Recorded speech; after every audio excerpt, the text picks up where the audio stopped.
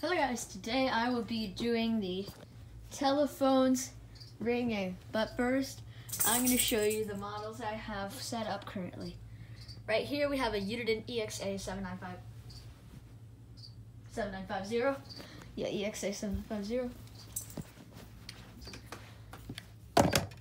Right here we have a Uniden 7 DXAI 7288-2 with only one of the handsets. Over here we have a Uniden D1480 base. Handsets right here.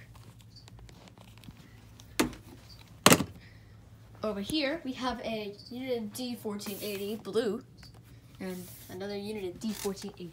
And now I'm gonna call just